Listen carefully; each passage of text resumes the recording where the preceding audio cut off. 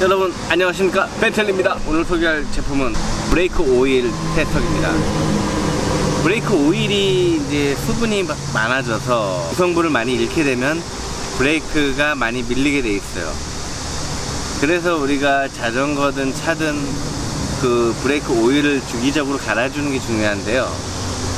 뭐 브레이크 오일이 다 수분화 됐다고 해서 뭐 브레이크가 안 드는 건 아닙니다. 하지만 제동거리가 길어지다 보면 사고가 안 날 것도 날 수 있게 되고 그런 상황이 일어날 수 있기 때문에 그 브레이크 오일을 체크해주고 보통 매뉴얼에선 3만에서 4만에 한 번씩 갈아주라고 돼 있지만 저 같은 경우는 20만, 25만이 넘게도 안 갈았습니다.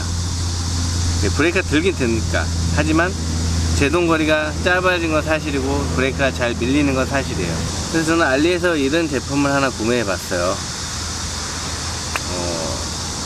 2,000원 정도로 좀 할인해서 구매를 했는데요 구매를 했는데요 누르면 이렇게 수분이 이제 배터리가 있다는 표시가 이렇게 뜨죠 여기에 이제 물을 꽂아주면 이제 색깔이 나옵니다.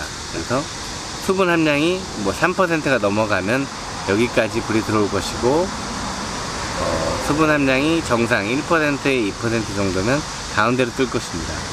먼저 정상적인 제품을 한번 꽂아 볼게요. 일단 브레이크 오일을 이제 구매를 했습니다. 이건 새 제품이니까 당연히 정상이 나와야겠죠. 수분 함량이 거의 0%.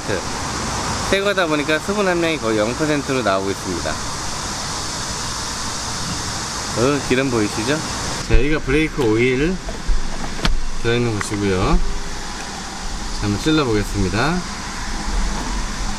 이거 빨간불 들어오는 거 보이시죠? 빨간불. 수분 거의 물이라고 보시면 돼요. 입니다. 이거 보세요. 자, 이거는 빨리 갈아줘야 돼요. 빨리 갈아줘야 될 상황입니다, 지금. 거의 4%를 넘어갔어요. 에이.